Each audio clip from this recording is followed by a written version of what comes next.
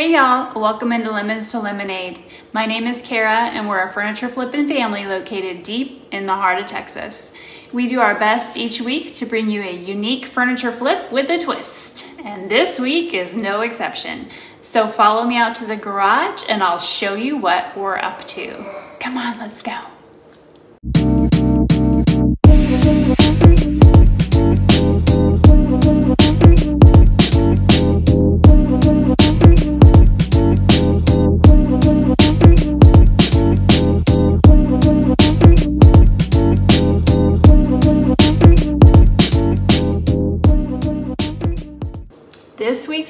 Is something really special. This week you're going to watch us fix our very own mess that we created 10 years ago. Oh yes, you are going to see our very first furniture flip that we attempted. This is my daughter's dresser. We found this on a garage sale site a decade ago when she was born and we were flat broke at the time. We desperately needed a place to store her books and baby clothes. So in the car, this went. I mean, you can't beat free. But when we got this home, I grabbed some old latex paint from the garage. I did mention we were broke, right? And went to work. I mean, what was I thinking? I was thinking it was free and I needed a dresser to put onesies and diapers in. So today, we are going back and fixing our old mistakes. Oh my goodness, you guys, do you see all the bleed through on this dresser? I'm like embarrassed to show it all to you, but you know, I didn't know what bleed through was back then. We just went for it. So we're going to give this thing a nice good scrub. It wasn't that dirty. It just had some stickers on it and some fingerprints and the little marks that you see are just the latex paint chipping off.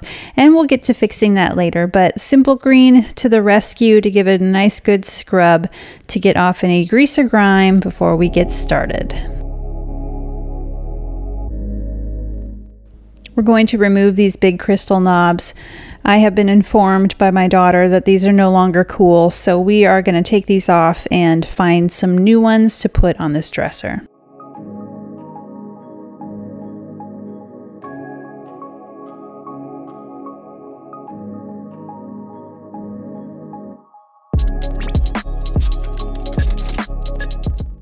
Now it's time to go back and fill in all the gouges that we missed before we certainly didn't know what wood fill was on dressers before this began as well, so now it's time to fix all those spots. This dresser originally had a little door on it that swung open. When we got it, it was no longer there, but we didn't fix the holes that were there either for it. So, time to go back and do all those. A part of the backing needs to be removed. It has a hole in it in the front. It looks like a scratch there in the back, but in the front it is a hole. So this is actually the part that looks like you're looking into the bookshelf area. So this needs to be replaced. We're going to do something fun with the new backing that we're putting in here.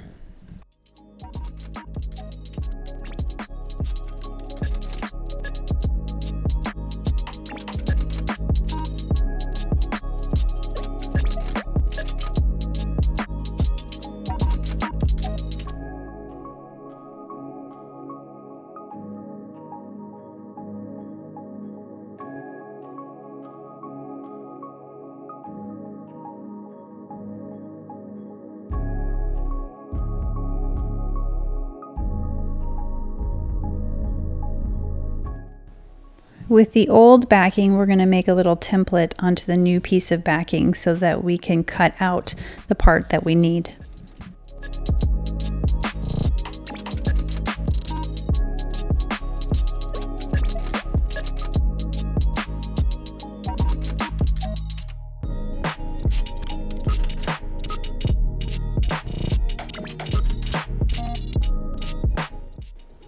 The hot pink on the inside has got to go, so we're going to use some two-time flat white primer by Rust-Oleum and spray paint all the hot pink on the inside so that we can freshen this up with a lighter color.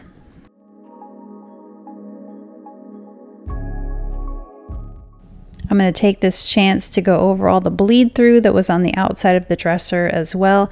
I ended up doing two coats of this primer.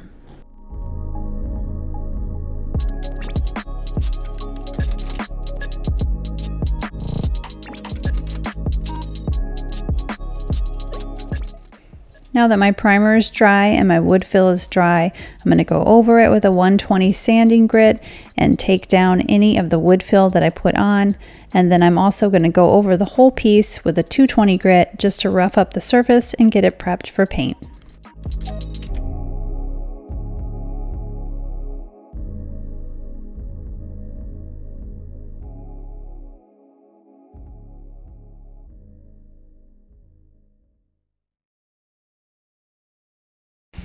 My daughter chose the color Clary Sage by Sherwin-Williams in their Krylon chalk paint finish.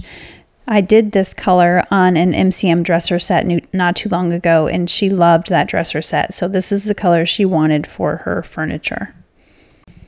We've got the chalk paint loaded into our gravity fed HVLP spray gun and off we go.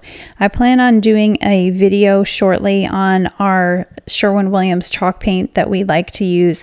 I get a lot of questions about this in the comment section, uh, so I'm going to bring you some more information on it. I know not a lot of people use it, but I love it. It's our favorite brand, and I'm going to tell you guys just a little bit more about it in the future.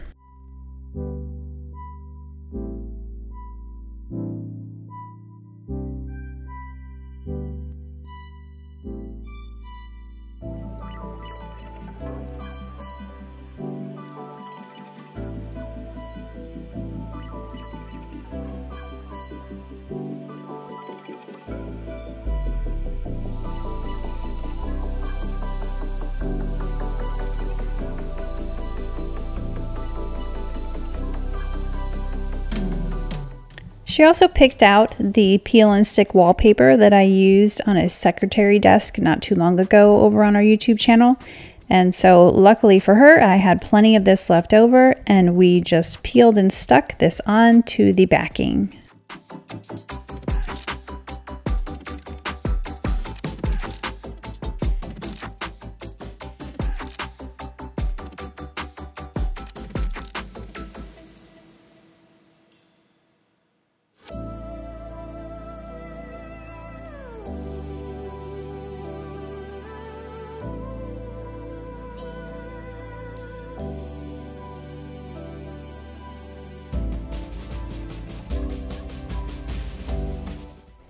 She also chose the stencil that we got today at Hobby Lobby. It is called Designer Series, and we're going to use this on the drawers.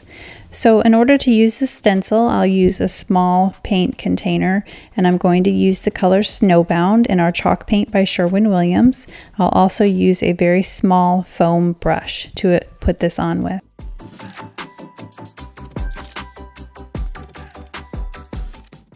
I'm going to tell you right now, I am so not a stencil person on furniture. This is one of my first times doing this, and I'm going to give the client what she wants on this one. So this is a little outside of my comfort zone, but I'm going to line up the two bottom drawers and make sure my stencil is safely in place. My idea here is to have the flowers look like they're kind of crawling up the drawers and so I'm literally holding my breath the whole time I'm putting this paint on. I am scared of this stencil, but um, I'm to learn that I didn't need to be, and I'm really glad that I tried something new.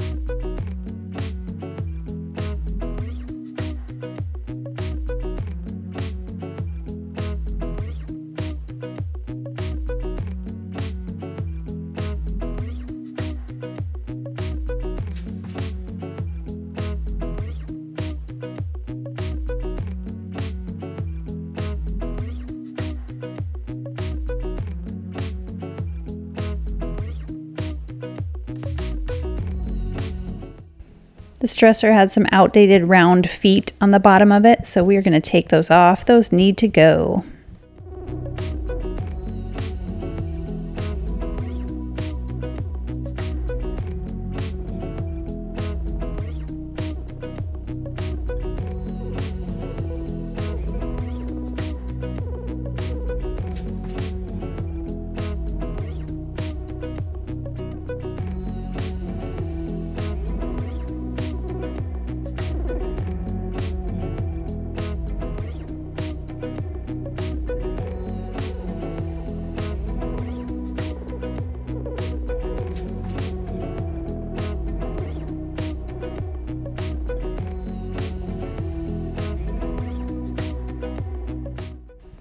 Hobby Lobby had the cutest little pumpkin knobs on sale today for 99 cents.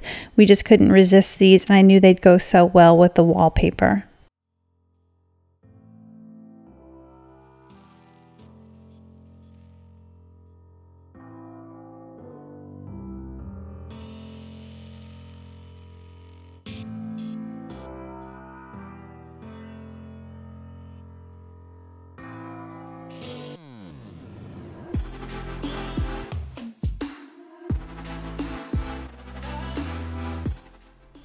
Now we just need to put the backing back on and it's almost time for the big reveal.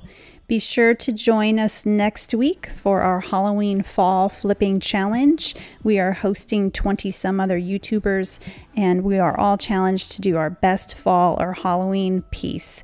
Be sure to tune in next week. It's going to be on Saturday and we look forward to seeing you then. The playlist will be linked in the comments. Be sure to stay tuned for the big reveal, and we'll see you next week on Lemons to Lemonade.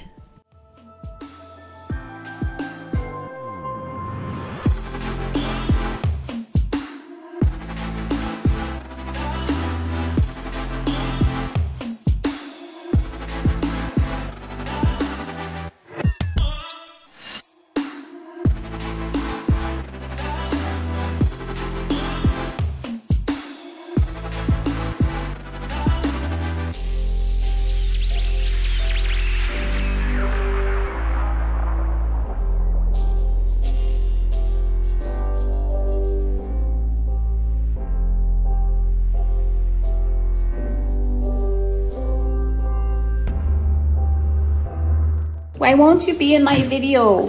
Why? Why won't you play along and be in my video?